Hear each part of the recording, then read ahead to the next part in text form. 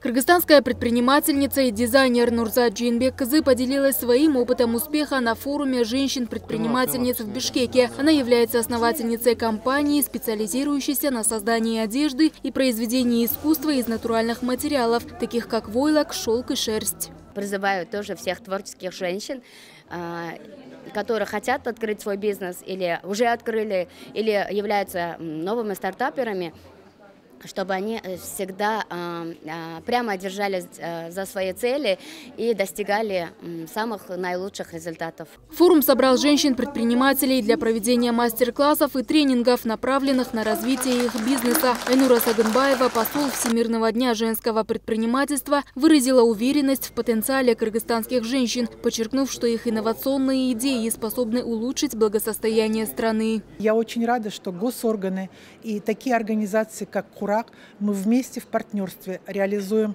все намеченные планы. И я уверена, что мы сможем к 2026 году показать нашему населению не только цифры, а реально изменение наших семей, ситуации с нашими детьми, с нашими школами, с нашими больницами.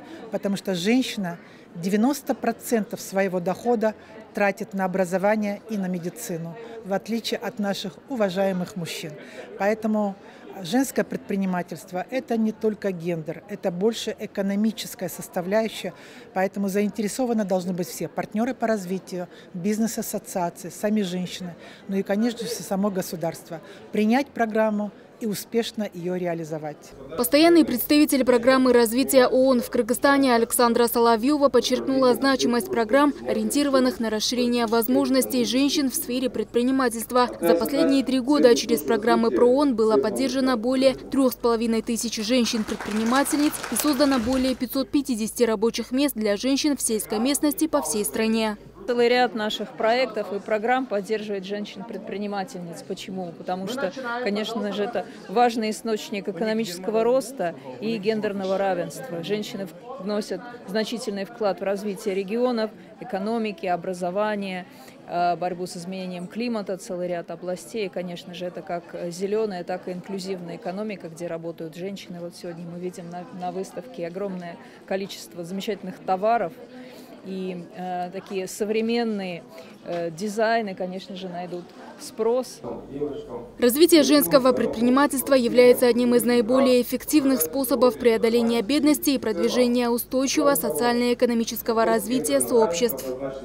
Именно на этом форуме э, женщины коммуницируют, находят потенциальных партнеров, потенциальных клиентов и узнают больше о донорских проектах, э, которые поддерживают э, женщин-предпринимателей в рамках а, программы, которая была как раз-таки подписана Министерством экономики а, совместно с КУРАК. КУРАК адвокатировал эту программу, программу по развитию и поддержке женского предпринимательства. Отметим, что форум был организован в рамках празднования Всемирного дня женского предпринимательства, посвященной поддержке и развитию предпринимательства среди женщин. Сымбат Алмазова, Самаган Таирбеков, УТРК Чуй.